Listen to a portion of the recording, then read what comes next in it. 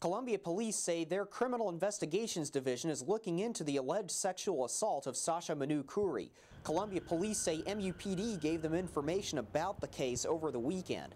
And they're going to look at the information available and see what leads are contained in that inf- information and then follow up and go from there, see what the best course of action is. The move comes after an ESPN report accused the university of not investigating the alleged assault. The story says the University of Missouri did not investigate or tell law enforcement officials about an alleged rape, possibly by one or more members of the football team. Courey eventually withdrew from the university before taking her own life in 2011. University officials declined to go on camera for this story. In a statement released Sunday, the school said privacy laws kept medical personnel from sharing anything Sasha told them without her permission. Officials also released a letter in which they say they asked her parents if they wanted an investigation. The university says the parents never responded.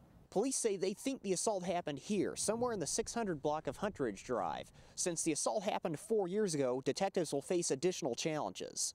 You know, right after it happens, there's a crime scene and there's more, you know, eyewitness information available, or at least, you know, the information is fresher, you know. And a case where the case is older like this, you know, for however many years, people's memories are different of what occurred. Um, you may or may not have a crime scene or physical evidence. Bernhard admits the case may be cold enough there is nothing police can do. He says that will not stop them from looking into it. At the Columbia Bureau, Garrett Bergquist, KRCG 13 News.